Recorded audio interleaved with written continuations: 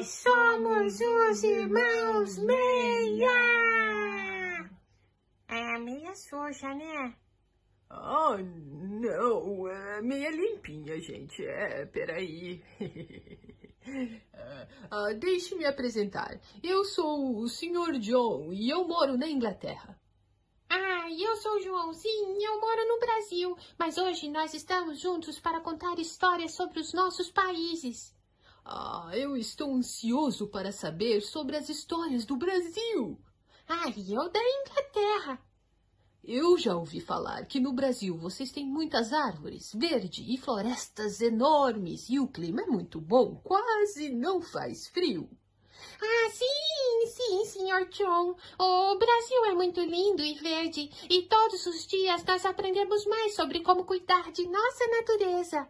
Aqui na Inglaterra nós temos lindos jardins e parques e no Brasil nós temos o Saci Pererê. Ah, Saci Pererê? Ah, minha vizinha que é brasileira. Ela se chama Simone Pereira. Aposto que são parentes. Ah, oh, não, não, eu acho que não, senhor John, porque o Saci Pererê vive nas florestas do Brasil e ele é muito conhecido por todos os animaizinhos das florestas. Ah, puxa, mas que puxa, ele deve ser muito famoso por ser conhecido por todos os bichos, não é mesmo? Ah, sim! Um dia, a tia da prima da minha mãe, irmã de pescadores da região, nos contou em uma noite em que a lua estava linda no céu sobre o Saci Pererê, um menino muito risonho e bastante inquieto, de uma perna só, e de gorro vermelho que gostava de sair rápido, Sr. John, pela floresta e brincar com os animais.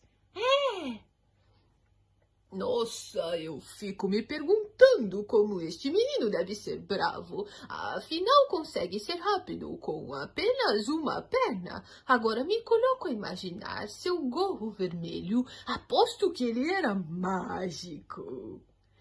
Ah, sim, sim, senhor John, era mágico mesmo, o senhor adivinhou, porque transformava as pernas dele em um redemoinho. E ele conseguia correr mais rápido que todo mundo.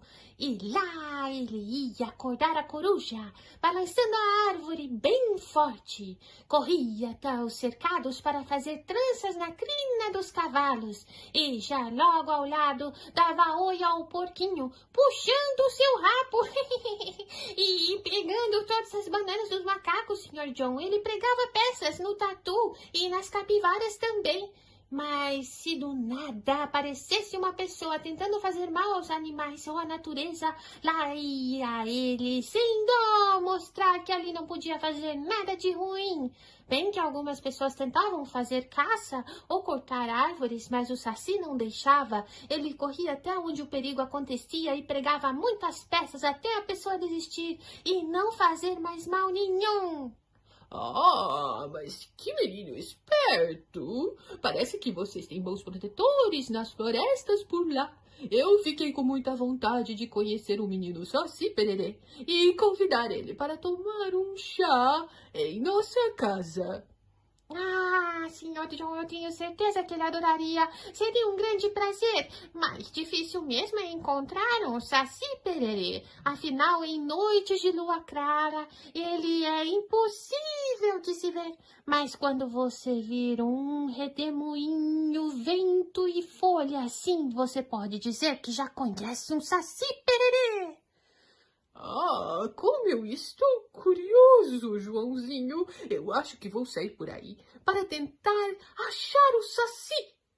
Ah, sim, senhor John, mas eu acho melhor por esses dias todos ficarmos em casa, aprendendo novas coisas, lendo bons livros e sim contando mais histórias para ficarmos conhecendo mais coisas. Ah, é verdade. Eu não quero pegar gripe. Que tal tomarmos então um chazinho bem quente com limão? Ah, uma ótima ideia. Será que poderia ser com biscoito?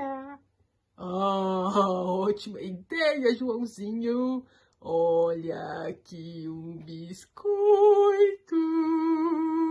Ai, que delícia, senhor John.